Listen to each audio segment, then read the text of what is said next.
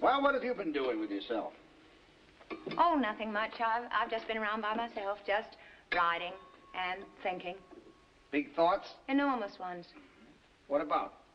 Oh, life with a great big L.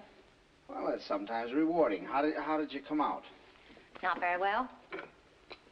Really? Anything I can do? There might be. To tell you the truth, that's why I came in this afternoon. Really? Yes, really. Well, uh, there, there, there's nothing I could that I wouldn't. Why isn't there? Well, I don't know. I may be wrong, but I think that you're the most, the, the most woman I've, I've ever met in all my life. I guess that's why you're here. Are you sure? No, no, it's just, just guesswork. That's nice because uh, I've been guessing that I like you a good deal too, and we're so utterly different we could help each other, couldn't we? I mean, really help. That is, if we, if we. For what? Don't rush me. Give me time. One, two, You three, see, four. it's as I told you. I've been thinking all sorts of things and in all sorts of ways, backwards, forwards, every which way, but chiefly forwards. Well, uh, I hope that means that you've decided to stop living in the past. Yes, that's it. And I got to thinking maybe you're right. I, it is stupid of me. It is selfish, but it is a terrible world to live in alone with just memories. And and you've got such qualities to face it with, to do something about it with. Your eye is so clear. You see so straight. You're so honest, so quick, so aware of everything, and Hey, fearless hey, and forthright. And wait a minute, No, don't stop me now. No, I'm none of those things except maybe honest. I've got qualities for it too. I'm strong and have have lots of energy, and I'm brave too. In a way, things don't get me down, and I can take punishment. It isn't just this house I can offer you or myself as an assistant. I could be your assistant. I helped Harry, and I did a lot of college work before that. It isn't only that, but I, I want to be. I, I must be part of it. I can't just stay outside.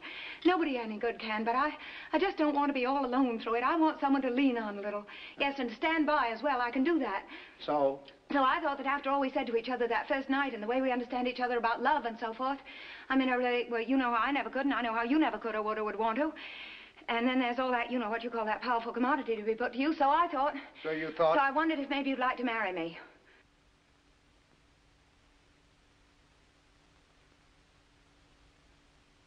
Would the idea interest you? Because by gum, I'd like you to. Because all of a sudden I've seen that there can be another basis for a good and happy marriage besides love. And what would that be? Several of them. Things shared in common. Honesty, say, and courage, and humor.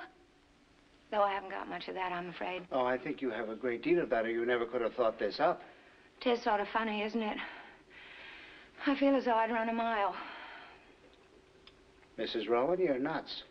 Yes, so are you. That's just the point. It would never work. Why not? Because of ghosts. Well, for a lot of reasons. If you're interested at all, I demand that you think it over. Well, I mean, two, after all, two people uh, uh, getting married without love or the hope of it, without even any desire for it. That's I- just it. It- That's just it. I, I could never even think of it if someone loved me. I'd feel so guilty all the time. And you, do you want the, the jealousy, the possessiveness, the misery, the exacting, the demanding?